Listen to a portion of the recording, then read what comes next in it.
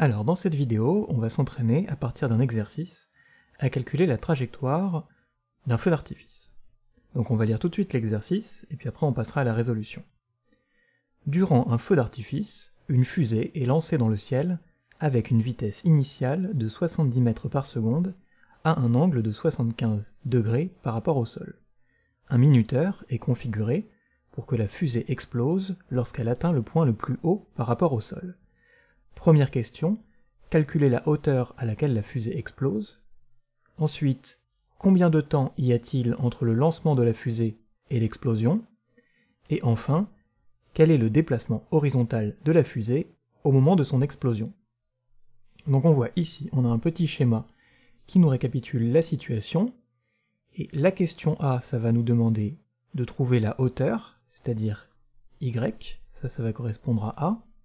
La question B, combien de temps y a-t-il?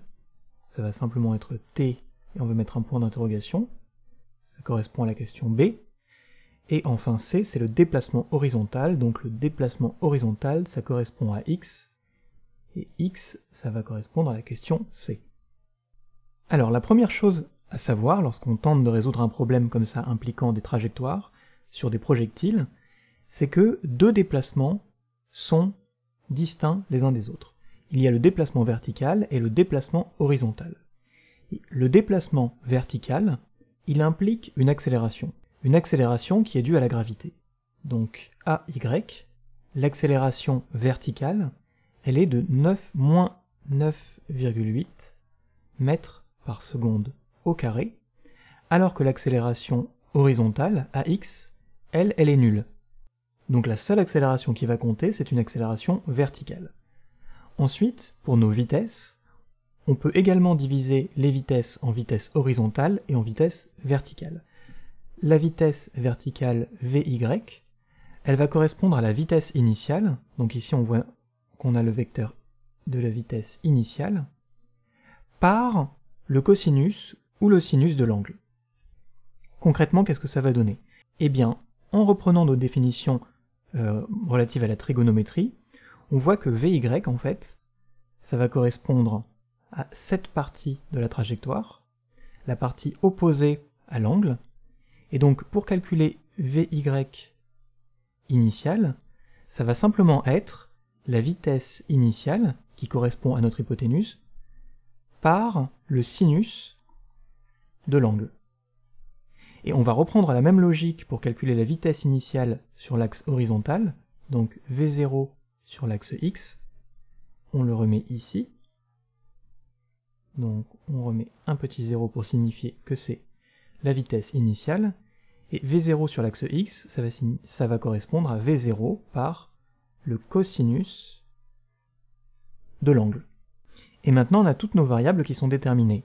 L'accélération verticale, l'accélération horizontale, la vitesse initiale verticale et la vitesse initiale horizontale.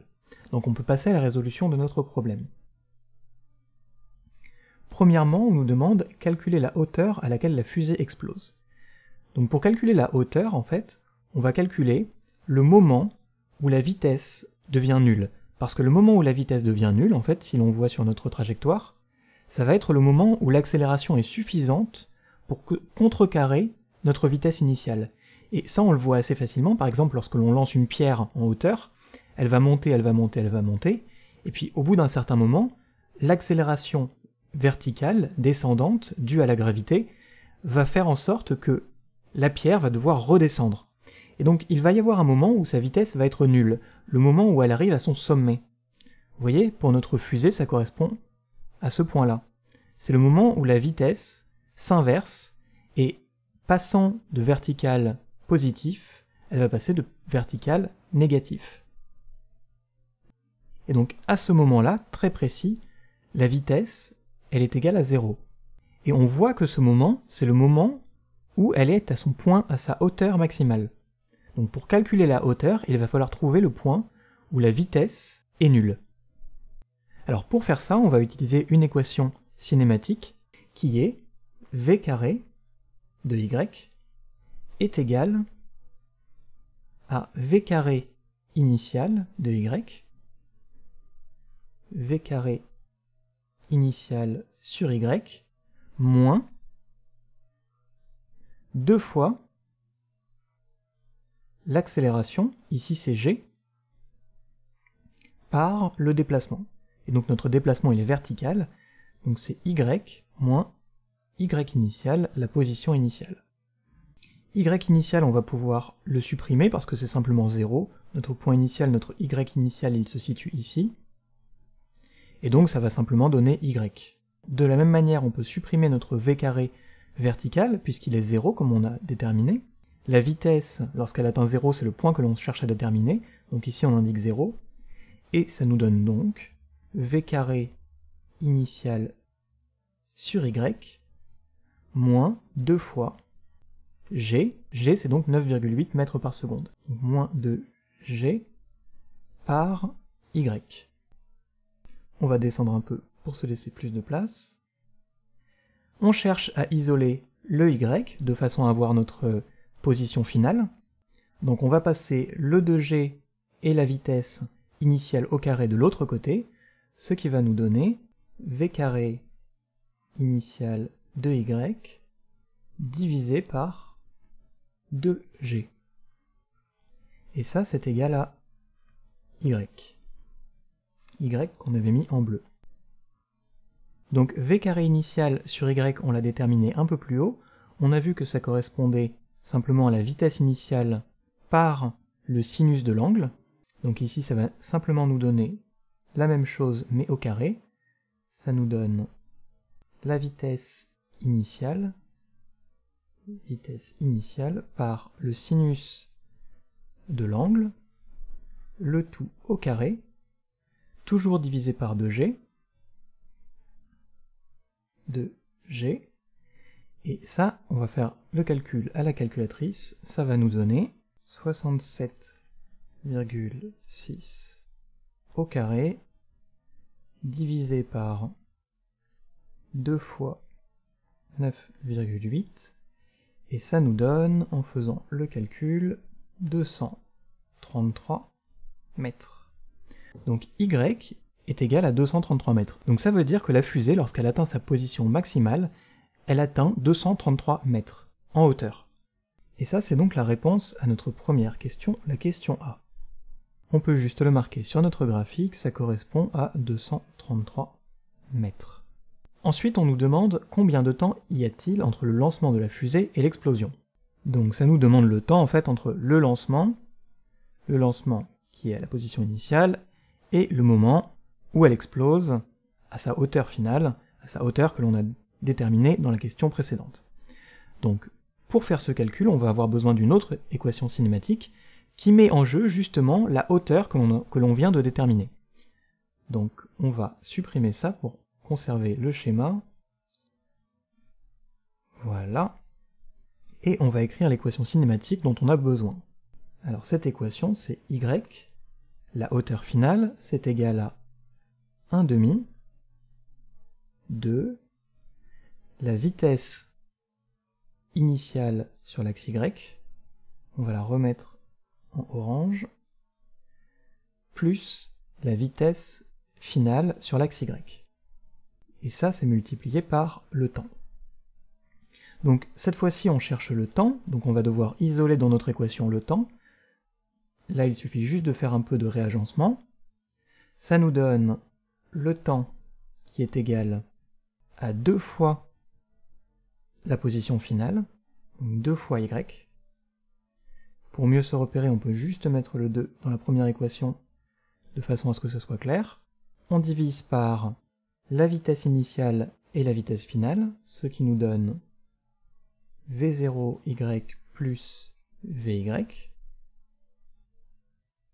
On remplace maintenant par les valeurs, ça nous donne donc 2 fois la hauteur que l'on a calculée juste avant, 2 fois 233 mètres, divisé par notre vitesse initiale, simplement, puisque la vitesse finale, comme on l'a déjà déterminé dans la question précédente, elle est nulle au moment de l'explosion. Donc ça, simplement, ça va être 0, on peut le supprimer. Ça nous donne simplement la vitesse initiale, et ça, on l'a également déterminé dans la question précédente, ça correspondait à 60 mètres, 67 mètres,6. Donc, divisé par 67,6. 6,6 mètres par seconde. On fait le calcul à la calculatrice et ça va nous donner 2 fois 233 divisé par 67.6, ce qui nous donne environ 6,9. Et on a des secondes. 6,9 secondes. Et ça, c'est la réponse à notre question B. Combien de temps y a-t-il entre le lancement de la fusée et l'explosion? Il y a 6,9 secondes. Donc maintenant, on a notre position finale, la hauteur donc, et le temps que la fusée met à exploser. Toutes ces données, ça va nous permettre de répondre à la dernière question qui est quel est le déplacement horizontal de la fusée au moment de son explosion. Donc on le rappelle, le déplacement horizontal, ça correspond à ça sur le schéma, c'est-à-dire la distance que la fusée parcourt simplement sur l'axe X. Donc on va supprimer notre calcul pour la question B, et on va passer à la question C. On a toujours besoin d'une équation cinématique, cette fois-ci ça va être x, x qui est la, la position finale, la distance parcourue, c'est égal à la vitesse initiale sur l'axe x par le temps. Donc on a simplement une inconnue, notre position finale sur l'axe x. On va utiliser l'équation que l'on a déjà utilisée précédemment. Simplement on l'avait utilisée sur l'axe y, maintenant on va l'utiliser sur l'axe x. Donc notre vitesse, on va la déterminer comme étant la vitesse initiale par le cosinus de l'angle. Et ça, ça va donc nous donner une valeur de 18,1 mètres par seconde. Vous voyez, on multiplie la vitesse initiale de 70 mètres par seconde par le cosinus de 75 degrés, et ça nous donne 18,1 mètres par seconde. On multiplie ça par le temps que l'on a déterminé précédemment, c'est-à-dire 6,90 secondes. On voit bien qu'on a des secondes qui sont superflues, et on va bien se retrouver avec des mètres, donc une distance.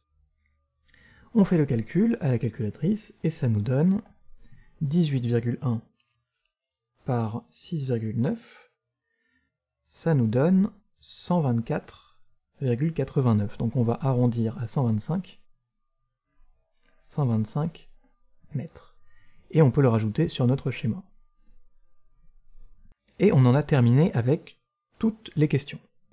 Donc vous voyez, pour récapituler, lorsqu'on a un problème comme ça impliquant une trajectoire et un projectile, ce qu'il faut faire, c'est bien comprendre que les deux mouvements, le mouvement vertical et le mouvement horizontal, sont indépendants, et donc calculer les deux vitesses à partir des sinus et des cosinus, bien considérer que l'accélération sur l'axe Y, elle correspond à l'attraction gravitationnelle, et bien voir que sur l'axe X, il n'y a pas d'accélération, voilà, donc vraiment la clé, c'est de bien comprendre que les deux mouvements sont indépendants. Le mouvement vertical est indépendant du mouvement horizontal.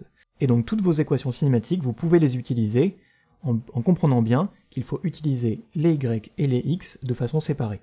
Voilà, j'espère que ça aura pu vous aider. Si c'est le cas, n'hésitez pas à laisser un j'aime et à vous abonner. Et puis on se voit dans une prochaine vidéo.